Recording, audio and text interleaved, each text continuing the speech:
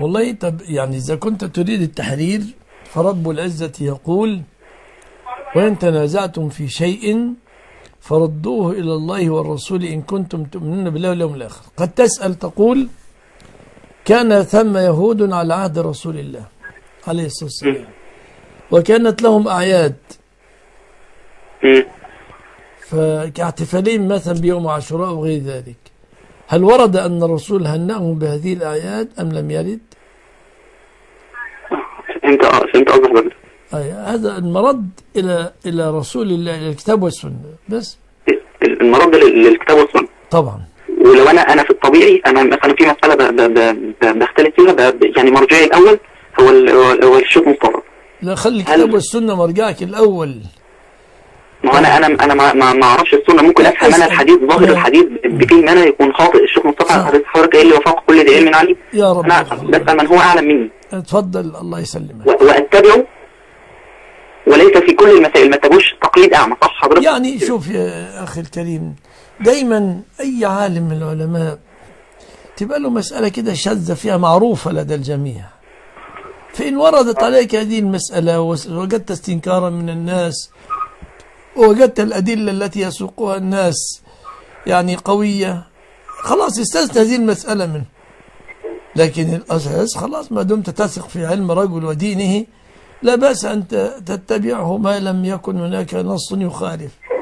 تمام خلاص ربنا يبارك فيك. السؤال الثاني معلش. ها.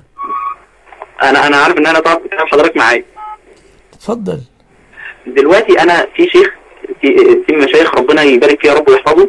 هو كل حياته مخصصها ل- ل- للدعوة. سلاسل سيره نبويه وسلاسل فقه كل حياته كده. ولكن هو كان في مكان مع شيخ مع في من المشايخ. هذا الشيخ يعني إيه آه، آه، له يعني مش يعني مش عاوز أقول يعني حاجة حاجة مش كويسة. أنا أقصد هل ينفع أنا مثلا أنا آه، كطالب ليا باللي بيقوله الشيخ مصطفى ماليش دعوة هو متواجد في مكان مع واحد مش كويس. حضرتك فاهم قصدي؟ لا يعني مثلا يعني مثلا تكون أصرح يعني من ذلك. يعني مثلا أنا دلوقتي في شيخ ما فيش في مرة قال حاجة عن أراء سياسية ما فيش حاجة قال أي حاجة لها علاقة بحاجة غير الدين. كل حياته دين. ماشي. سلاسل تعليميه وبينصح الناس وكل حاجة. ولكن آه، آه، اتطور أو تواجد مع شخص آه، يعني نعلم عنه آه، يعني مبتدع. في حاجات كده آه. ما أي ينفعش أقول فسق كمان يعني عليه. اللي هو يعني أراءه مش مش كويسة. مش ممكن يكون في هناك أسباب دعت إلى ذلك. على سبيل المثال مثلا ابن عباس رضي الله تعالى عنهما. راجل عالم من علماء المسلمين الأجلاء الفضلاء وذهب إلى الخوارج. لكن لماذا ذهب إلى الخوارج؟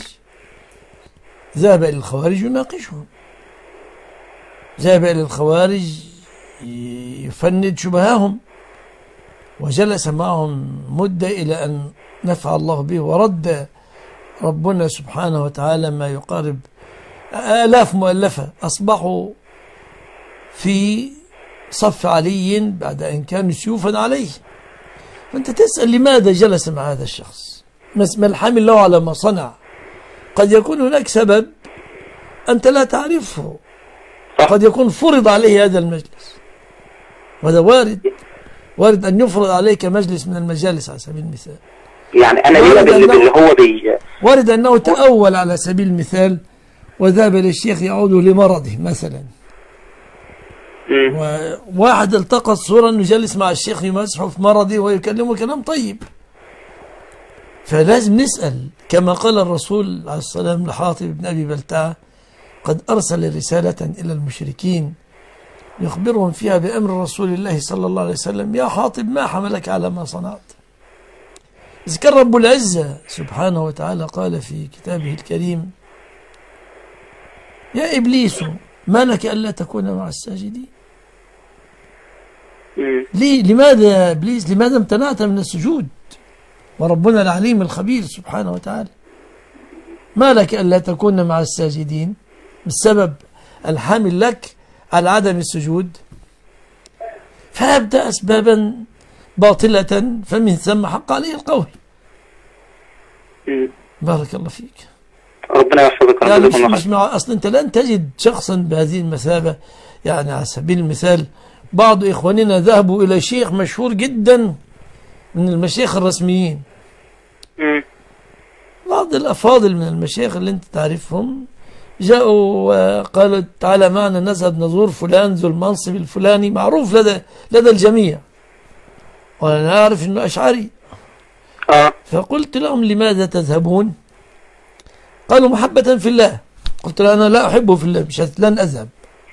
فذهبوا إليه هم يعني كي يقدموا له نصحا كي يحافظوا على شيء معين من ال- من الأمور التي تساعدهم في الدعوة. فأول ما دخلوا عليه دخلوا عليه منبسطين في الكلام وجلسوا معه. قال يا جماعة أنا أشعري وأفتخر. فماذا يصنعون في هذه التوقيت؟ إذا خرجوا مباشرة يعني مجتهدون في المسألة جلسوا معه. هل معنى جلوسهم معه أنهم يقرونه على ما قال؟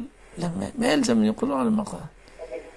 طب لو كانوا من نفس ال- ال- الحزب معاه يعني لو الشخص دوت كان من نفس الحزب بس ما بيقولش أي حاجة لها علاقة بآراء سياسية ولا أي حاجة لها علاقة كل كلامه قال الله وقال الرسول حاجة ما ما بيقولش أي اراء سياسية خالص. بس تواجد في مكان مع شخص آه، لا نعلم عنه خير. والله كل مسألة لها ملابستها الله يحفظك. قد يكون مخطئ هل هل هناك مانع أن يكون واحد اجتهد وأخطأ؟ صح. ما في مشكلة. السلام عليكم.